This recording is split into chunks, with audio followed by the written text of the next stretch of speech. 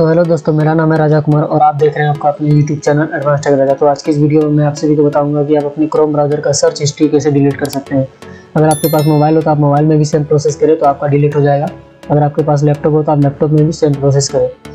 तो सिंपली आपको अपना क्रोम ब्राउज़र ओपन करना है, जैसे मैंने यहाँ पे ओपन करके रखा है। और उसके बाद आपको यहाँ से एक ऑप्शन दिख जाएगा थ्री डॉट का सिंपली आप इस पर क्लिक करेंगे। जैसे आप इस पर क्लिक करेंगे तो नीचे आएँगे। आपको यहाँ पे हिस्ट्री नाम का एक ऑप्शन दिख जाएगा। तो सिंपली आप उस पर होल्ड करें और यहाँ पे साइड में और ऑप्शन दिख जाएगा आपको हिस्ट्री का। तो सिंपली आपको इस पर क्लिक करना है। जैसे आप इस पर क्लिक करेंगे तो आपने जितना भी डाटा आपने सर्च किया है अपने क्रोम ब्राउज़र में, आपको यहाँ पे शो हो जाएँगे। और अगर आप इसे डिलीट करना चाहते हैं तो आपको यहाँ पे साइड में एक ऑप्शन मिल जाएगा क्लियर ब्राउजिंग डाटा तो आपको सिंपली इस पर क्लिक करना है। जैसे ही इस पर क्लिक करेंगे तो एक नया विंडो खुलेगा। तो आपके सामने कुछ ऐसा इंटरफेस खुलेगा। तो सिंपली आपको यहाँ से दो ऑप्शन दिख जाएँगे।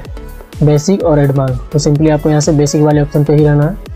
और यहाँ पे नीचे आएँगे तो आपको यहाँ पे टाइम रेंज दिखेगा। तो यहाँ पे अभी ऑल टाइम सेलेक्ट है। तो यहाँ पे इसका मतलब हुआ कि आप कितने टाइम का डाटा डिलीट करना चाहते हैं। तो जैसे मैं यहाँ से 24 फोर आवर का डिलीट करना चाहता हूँ तो मैं 24 फोर आवर पर क्लिक करूँगा। अगर आप ऑल टाइम का डाटा डिलीट करना चाहते हैं तो आप ऑल टाइम पर क्लिक करें। तो ये सभी डाटा आपका डिलीट हो जाएगा। उसके बाद सिलेक्ट आपको यहाँ पर टाइम सिलेक्ट करने के बाद आपको यहाँ से नीचे एक ऑप्शन दिख जाएगा क्लियर डाटा तो सिंपली आपको इस पर क्लिक करना है।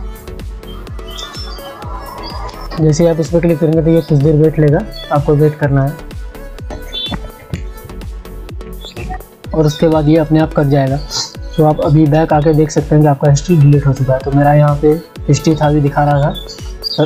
तो मेरा अभी पूरा हिस्ट्री डिलीट हो चुका है।